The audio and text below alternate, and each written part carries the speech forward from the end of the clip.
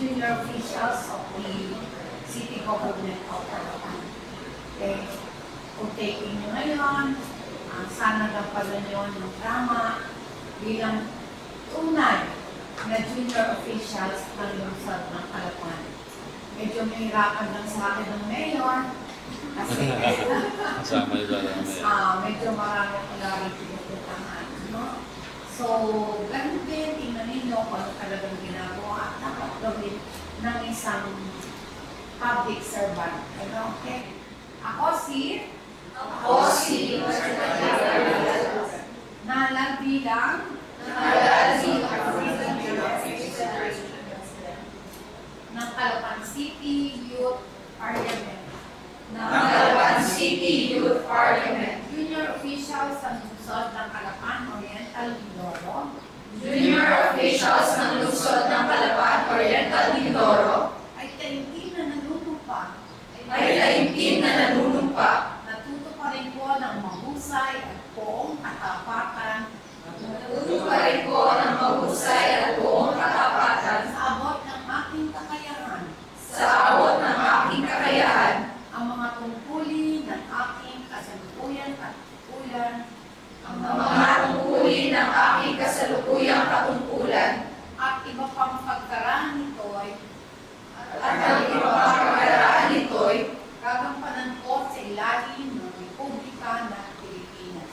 gagampanan ko sa ilalim ng Republika ng Pilipinas Na aking itataguyod at ipagtatanggol na aking itataguyod at ipagtatanggol ang saligang batas ng Pilipinas ang saligang batas ng Na tunay na mananalig na tunay na mananalig at tataliba ako ito. at tatalima ako rito. Na susundin ko ang mga batas, Na susundin ko ang mga batas, mga kautukan legal at mga dekretong pinaiiral mga kautosang legal at mga dekretong pinaiiral ng mga sadyang itinakda na mga sadyang itinakda ng may kapangyarihan ng Republika ng Pilipinas ng may kapangyarihan ng Republika ng Pilipinas at kusa kong babalikatin ang pananagutan nito at kusa kong babalikatin ang pananagutang ito na walang anumang pasubali na walang pasubali o hangaring umiwas. o hangaring umiwas. Kasihan nawa ako ng Diyos. Kasihan nawa ako ng Diyos.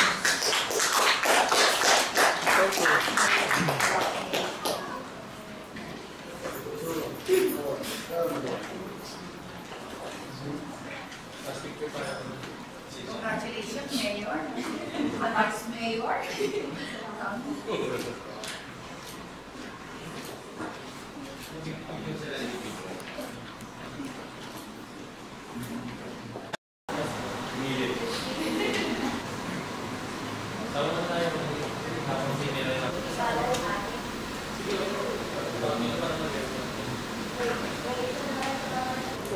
Lahat dito.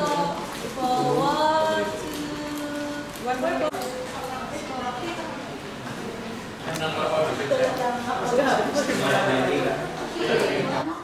Kasi medyo parang pumuntahan.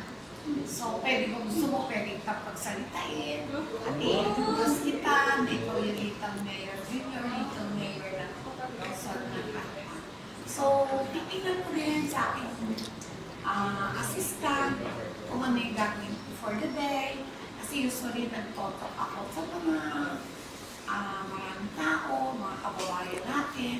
So, pwede kitang pagsalitain, kakadumulan sa kanya kung ano yung team or topic para at least you will feel how to become a mayor of Caloocan.